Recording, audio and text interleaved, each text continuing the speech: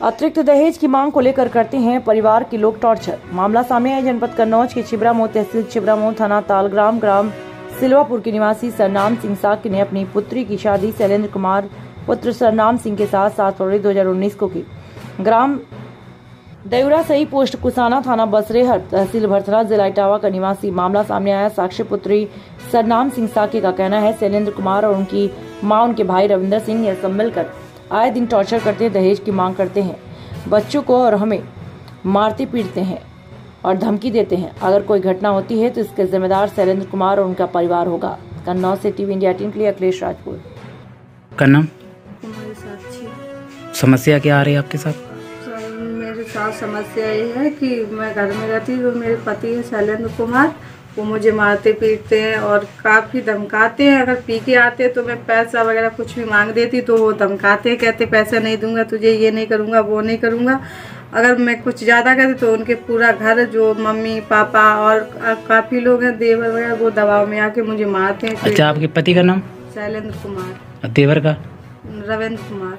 ये लोग आपको पीटते हैं क्या? सब लोग सताते सब लोग परेशान करते एक लोग हो करके कोई- सास और पति परेशान करते कोई। दहेज की मांग करते हैं क्या?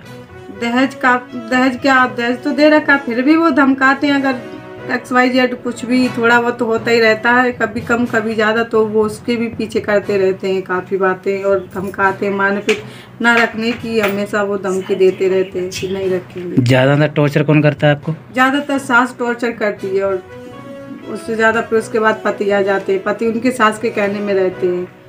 अच्छा चलो ठीक है धन्यवाद। दादाजी आपका नाम? श्री सरनाम सिंह साख क्या समस्या आ रही है? समस्या यही आ रही है कि एक साल पिछले साल में अभी एक साल नहीं हुई है कि हमने बिटिया को राज़ी रोसा से भेजा था। हम्म, अब उन्होंने उनके लड़के दूसरे ने शादी ऐसे की है मंदिर पे ऐसा केस किया है कि उसके आके दबाव में इसको मारपीट धमकाते हैं कि वो दो दे ये दे दो। अब मैंने दिया है इसके लिए दिया है कि तुम्हारे के लिए दिया है। अब उसके बाद में वो हम हम तो बीमार पड़े हैं। बेटी मेरी देखने के लिए आ रही थी। उन्होंने बम्बा पे घेरा। पीसीआर बुलाई।